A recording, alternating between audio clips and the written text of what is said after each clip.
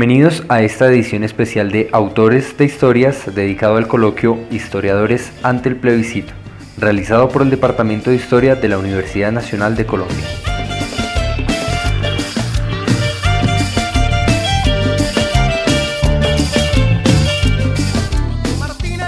Bueno, a continuación entonces eh, Rosario Arias Callejas eh, nos va a presentar una reflexión sobre el papel de la memoria ante el proceso de paz, escenarios para la participación desde la investigación histórica. Rosario es historiadora de la Universidad Nacional, ha acompañado procesos comunitarios en Bogotá y Montes de María en proyectos de desarrollo con énfasis en cultura, memoria y comunicaciones. También ha trabajado en archivos orales con el grupo estudiantil Memoria y Palabra, grupo del Departamento de Historia, y es integrante y fundadora de la Corporación María Cano para la Memoria y los Archivos de las Izquierdas y los Movimientos Sociales en Colombia. Rosario. Hay que tomarse la sopita. Bueno, muy buenos días. Eh, primero que todo, quiero agradecerle al Departamento de Historia por la invitación, porque hace rato no venía por acá y me gusta mucho estar compartiendo este escenario. Eh, lo que yo quiero compartir hoy son más unas reflexiones a partir de lo que he hecho eh, y he estado pensando últimamente a raíz del plebiscito y de los acuerdos de paz, más que algo muy técnico o muy teórico sobre lo que se nos avecina. La pregunta con la que nos invitaron a este coloquio era eh, pues, cuál es el papel de los historiadores ante el sí, ante el no y cómo, cómo están viendo, cómo estamos viendo eh, estos acuerdos. Entonces, pues, eh, a partir de esas tres preguntas basé mi, mi texto pues sí, que se llama el papel de la memoria ante el proceso de paz, pero pues creo que son reflexiones eh, varias alrededor de este tema. Eh, bueno, el acuerdo con las FARC, que es un momento tan esperado por tantos años y soñado por tantos de nosotros, eh, ha generado sorprendentemente miedo en las personas y desconfianzas, y eso pues quiero empezar por ahí porque es como una de las grandes preocupaciones que, que yo tengo o es tal vez una sorpresa con la que uno se encuentra, pues nosotros que creo que todos, o ya no hay nadie vivo en Colombia que haya nacido en, un país en paz, creo que todos nos habíamos soñado este momento y cuando llega, primero nos ponen eh, la pregunta del plebiscito que me parece pues complicado, no sé, ahí sí técnicamente en el derecho si era obligatorio hacerlo, pero creo que nos enfrenta pues a un reto muy complicado y lo pues que uno ve con perplejidad es el no, ¿no? la posibilidad real del no, y ante esa preocupación pues creo que giran muchas de estas preguntas. Eh, una, no sé si es que naturalizamos la guerra o que ya no sabemos cómo salir de ella, no sabemos cómo vivir en paz o por qué le tenemos miedo a la paz, esa sería como la, tal vez la pregunta o la preocupación que está, que está en el fondo. Eh, y cómo acabar con esa idea que uno a veces oye de que pues este es un país violento, ¿no? Pues cómo, cómo no nos autodefinimos, determinamos y condenamos a, la violencia, sino cómo empezamos a pensar en, posibilidades para salir adelante. Eh, y creo que ahí pues, la academia y pues, cualquier escenario que fomente la reflexión eh, y permita tomar distancia, pues puede ser eh, totalmente pertinente eh, ahorita estamos en medio de discusiones, eh, argumentos en pro y en contra, propaganda por el plebiscito en todos los escenarios. Y yo creo que muchas de esas cosas, en vez de ayudarnos a la reflexión, nos están como sumiendo en unos debates donde el argumento termina siendo una cosa, no sé, demasiado eh, general o, o los argumentos son muchas veces mentiras que están circulando y eso está impidiendo justamente lo que yo creo que es a lo que estamos llamados, es a generar reflexiones más profundas, pues acabamos de oír eh, un par de presentaciones bastante profundas que nos dan unos elementos muy importantes para, para, esto, pero el reto también es cómo en escenarios más cotidianos empezamos a, a poderlo hacer y bueno, ya estamos un poco encima por, pues porque el, el plebiscito es el domingo. Entonces, pues aquí me voy a enunciar algunas de estas ideas que me llaman la atención desde, sí, más desde lo que he pensado eh, trabajando últimamente con comunidades y en algunos ejercicios de recuperación de archivos Eh, entonces, bueno, primero que todo están los acuerdos. Eh, este acuerdo tiene una novedad para, no sé si solo para mi generación, no, los, a mí solo me tocó eh, siendo medio consciente el intento de Pastrana, pero para mí es totalmente novedoso que en este caso yo he visto todo el tiempo, pues a pesar de todo, la firmeza y la, la decisión de ambas partes del conflicto y que además, como lo decía el profesor Ricardo, em, es un acuerdo, es una negociación, no es una rendición, no es un sometimiento. Y en ese sentido, eh, pues creo que eso es una buena noticia eh, para todos. Por otro lado, también la presencia de las comunidades que han ido a La Habana, que invitaron a La Habana a participar, pues fue, fue bastante interesante. Se incluyeron las voces, por ejemplo, de las mujeres, cosas que, importantes que a veces se les olvida. Em, en este tipo de eventos, pues ahorita los ambientalistas están insistiendo mucho en que todo el tema de medio ambiente se quedó por fuera y habrá que mirarlo con, con mucha atención. Em, otra de las cosas que me parece bastante interesante es que em, se habló desde el comienzo de paz territorial, creo que el equipo negociador ha sido bastante pues, sensible y y ha acogido recomendaciones de, pues, de, los acompañantes, de John Paul Lerac, que es creo que una persona que ha influido mucho en, en la manera como se llevaron estos acuerdos, eh, y ojalá no sea pues lo que hemos venido viviendo en los últimos años de que palabras y conceptos como la participación se volvió una palabra de moda trillada y que perdió su totalmente, pues no totalmente, pero que ha ido perdiendo su, su contenido y que en verdad tanto pues, la participación que vimos que se dio efectivamente en La Habana como la que proponen los acuerdos, eh, el de participación política, pero también los escenarios que propone el acuerdo sobre, sobre lo agrario, pues sí sean espacios reales de incidencia y que por fin se empiece a cerrar la brecha entre el campo y la ciudad, que se vaya cerrando eh, pues este país con tanta exclusión social, este país tan centralista y tan clasista en, pues, en sus formas en, que ha sido gobernado. Eh, entonces, ese es pues otro elemento que, que encuentro interesante. Eh, el otro, eh, y lo otro, pues la otra gran pregunta sobre el acuerdo es qué tanto pues lograron dar reformas estructurales o, temas que impacten los temas estructurales. No ha habido como pues una voluntad de decir, listo, no solo es firmar la paz y desmovilizarse, hay que hacer unas transformaciones en el campo, hay que hacer unas transformaciones en la participación política, hay que hacer unas transformaciones, pues sobre todo con el tema de las drogas, que tiene un vínculo tan fuerte con el conflicto armado, pero que tanto eso que se pactó en La Habana al final en lo que quedó escrito en los acuerdos logra ser transformador o simplemente se va a parecer a políticas que ya existían y que estaban muy bonitas en el papel, pero que no logran transformar las relaciones, por ejemplo, pues el tema de la propiedad de la tierra, que desde que existe la ley de restitución de tierras sigue siendo una ilusión, pues yo siento, por lo menos en la región en la que yo trabajo, que es en, el Caribe colombiano, que que no se han metido con los grandes, digamos, que se siguen, los casos de restitución siguen siendo con los pequeños propietarios, cuartos y terceros y cuartos poseedores,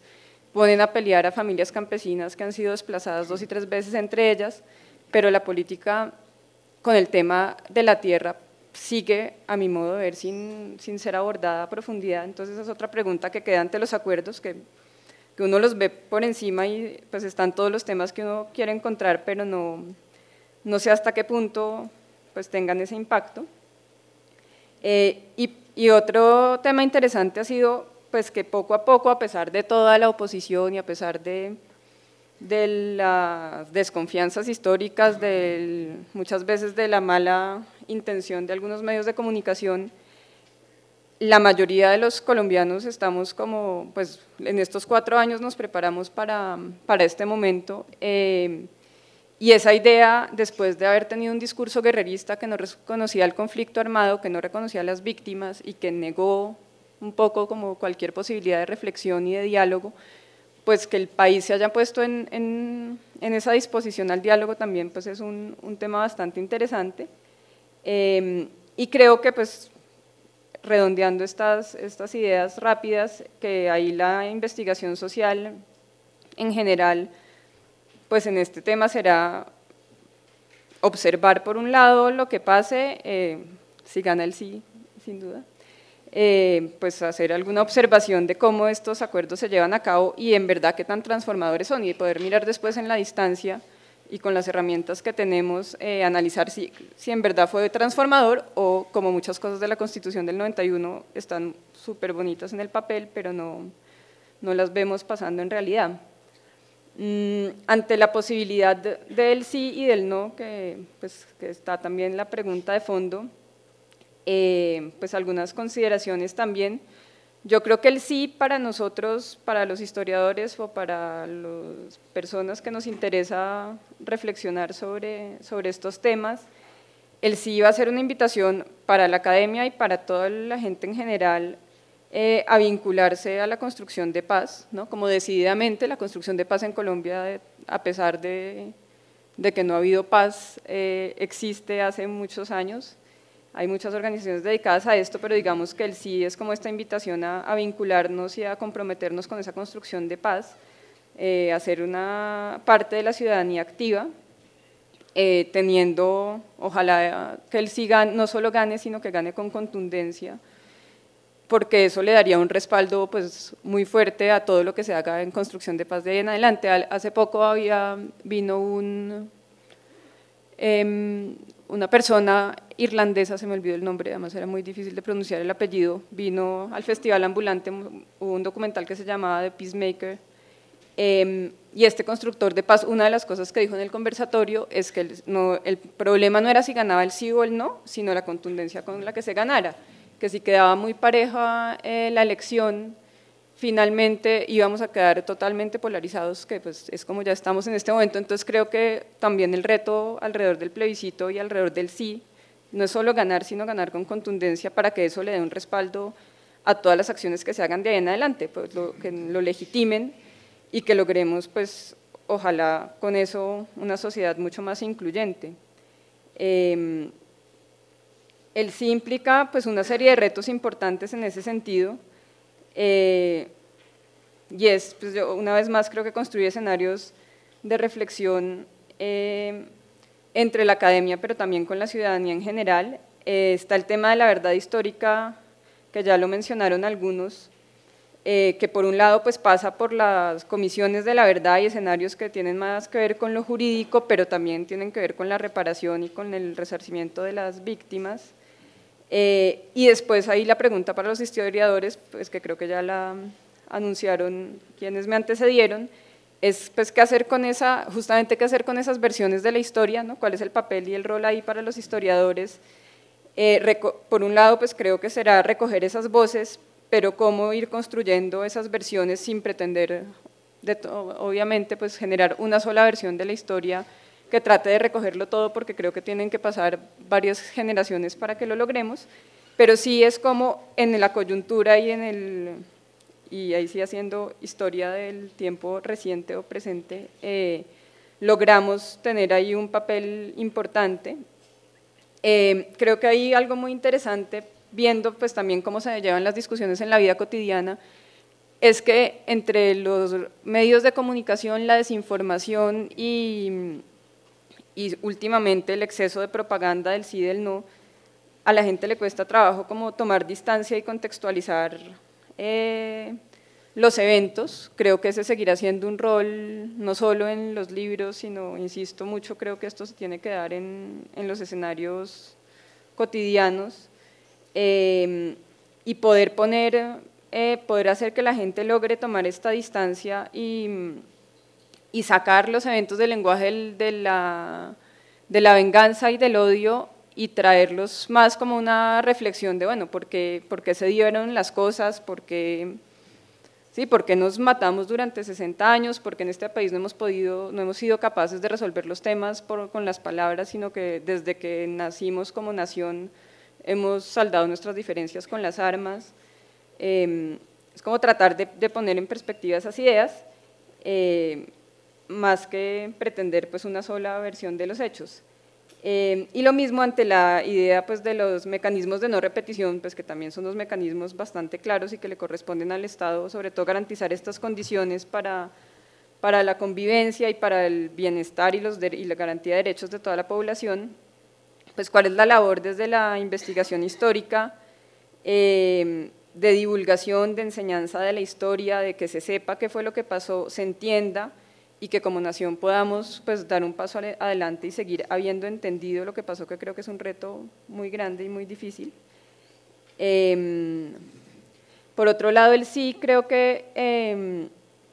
abre la puerta a la reconstrucción del país, eh, porque justamente creo que pasa por entender eso, lo que somos y por qué la violencia nos marcó durante tantos años y cómo,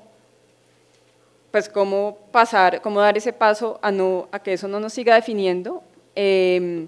y para, pero para eso creo que la verdad y el tema del reconocimiento de las responsabilidades es muy importante. ahí hay una, para mí hay un debate que es como entre lograr decir, listo, somos un mismo país, podemos vivir juntos, pero que eso no deje a un lado lo que nos diferencia, ¿no? como, como no perder, em, justamente poder vivir con esas diferencias, pero sin caer en discursos demasiado ingenuos de que todos somos, eh, sí, que todos somos hermanos y que tenemos que vivir felices, que ojalá lo logremos, pero siempre reconociendo esas diferencias. Ahí quisiera notar eh, una preocupación Mm, viendo un poco el lenguaje, espero no, no ofender a nadie o, decir alguna, em, algo poco, eh, de pronto algo equivocado, lo siento viendo sobre todo el lenguaje de la Oficina del Alto Comisionado, em, que hay una negación a las causas de la violencia, y a mí eso me parece muy preocupante. Hay como, como un lenguaje casi que al final de que hay unos buenos y unos malos y yo creo que eso tampoco nos va a ayudar a reconstruirnos como país, sobre todo pues porque hay que reconocer que el Estado, pues,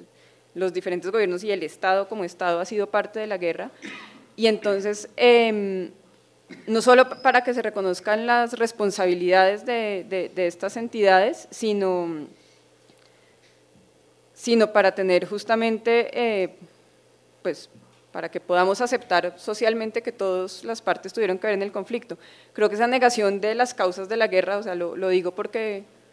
porque tuve algún, alguna experiencia de, cerca trabajando en contenidos para, pues para, para ayudando a una persona que trabaja para la oficina del alto comisionado, y todo el tiempo una negación y una censura a hablar de las causas de la guerra. O sea, listo, hagan un, sí, un material que explique por qué estamos en guerra y apenas uno usaba la palabra causas, apenas uno usaba no, es que la gente tomó las armas, no, no podemos decir que hubo, o sea, es como si hay una negación y un ocultamiento de que en realidad hubo unas motivaciones y que la responsabilidad del Estado no es solamente cuando hubo directa responsabilidad en crímenes o,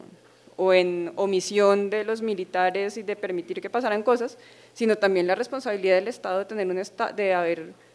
pues permitido tanta inequidad, tanta desigualdad, de haber beneficiado solo unos pocos y haber permitido pues, que la gente pues, tomara la, la, opción de las armas. Sin justificar la guerra, creo que son temas que hay que, que, hay que hablar. Es una cosa que siento más que,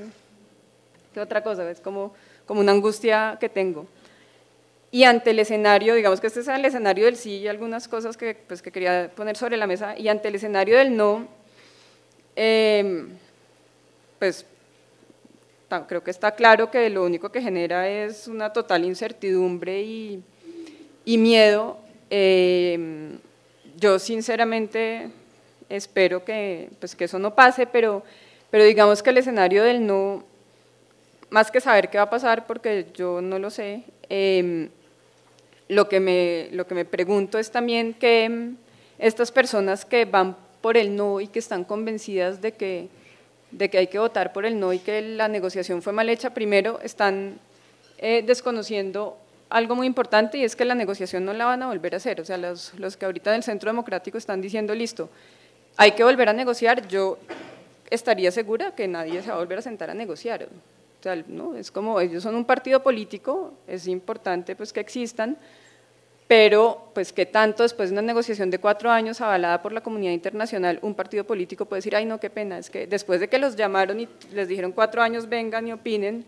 que tanto al final un partido puede decir, ay no, vengan y vuelvan, ahora sí queremos opinar, vengan y, renegocien con nosotros.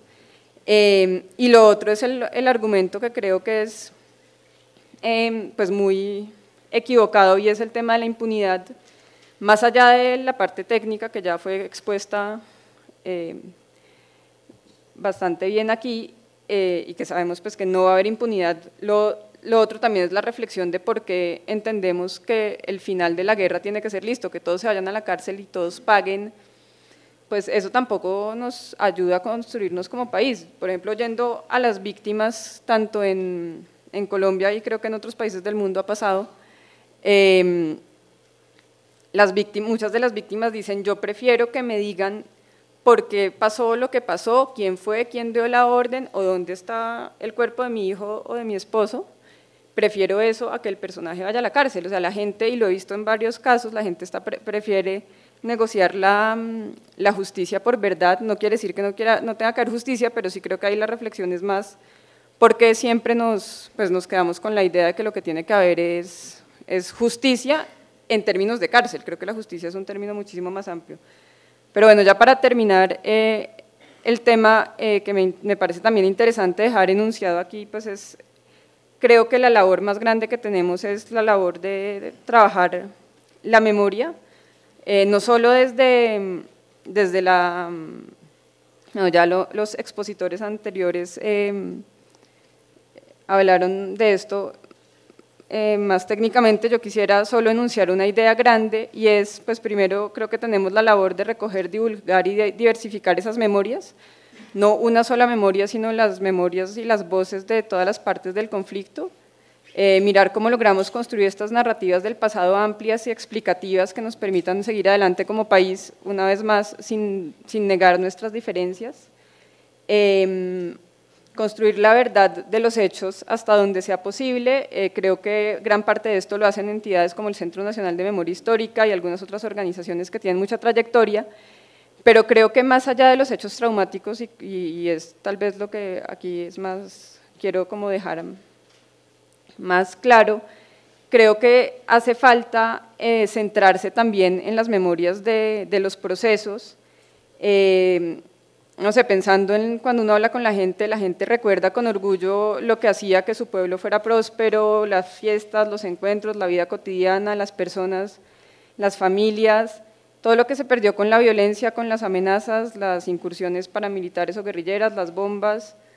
eh, todas esas vivencias y esos, como toda la parte identitaria y cultural de los sitios que se han perdido por el desplazamiento forzado por el miedo, muchas manifestaciones culturales dejaron de hacerse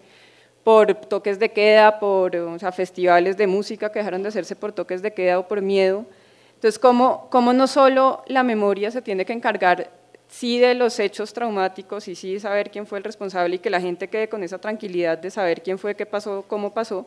sino ir mucho más allá em, y recuperar la parte identitaria y cultural de las memorias, la riqueza y la diversidad de las ideas y también en ese sentido como una reivindicación eh, de las diferentes opciones de vida y de las diferencias de diferentes como versiones del desarrollo, ¿no? que no todos queremos vivir en la ciudad, tener un carro y un apartamento, sino que hay gente en el campo que quiere seguir viviendo en el campo,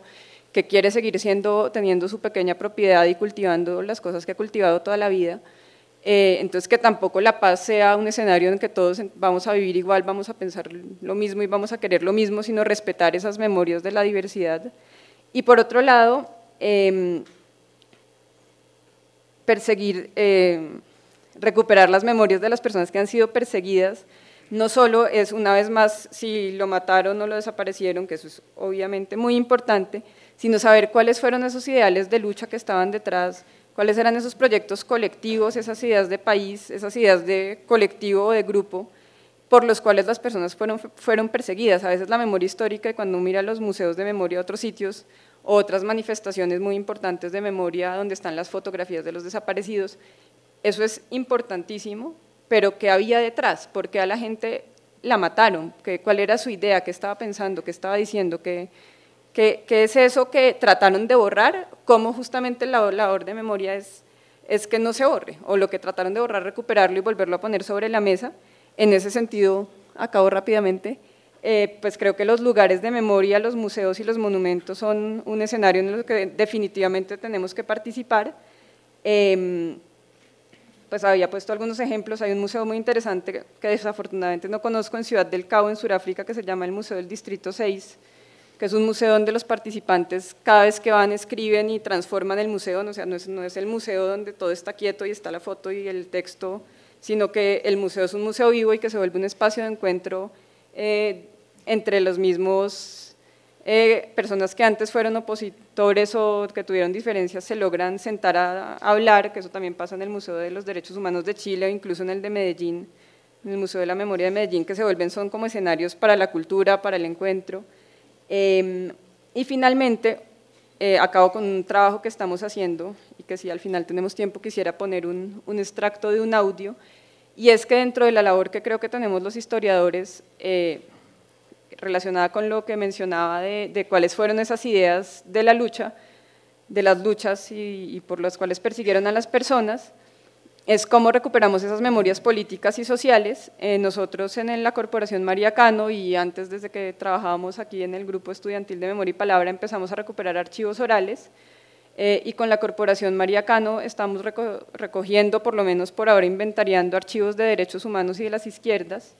El año pasado eh, con una beca del Ministerio de Cultura recuperamos el archivo de la investigadora Rocío Londoño sobre las luchas agrarias del Sumapaz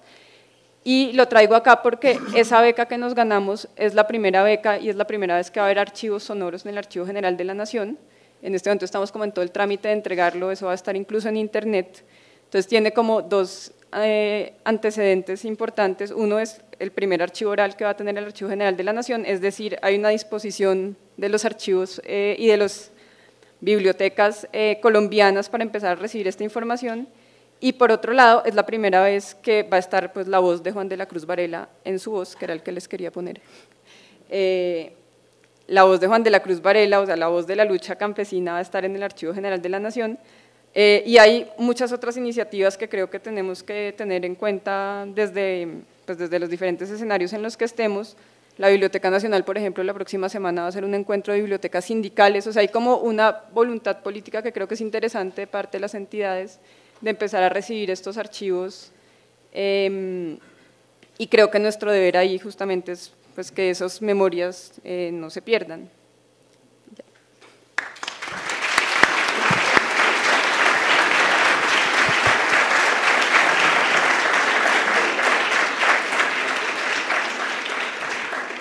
Bueno, le agradecemos a Rosario Arias pues, eh, su presentación desde lo que ella dijo, su experiencia y podríamos decir su generación,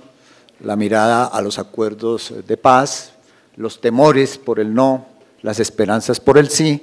y bueno, pues yo creo que nos pone un amplio escenario de trabajos eh,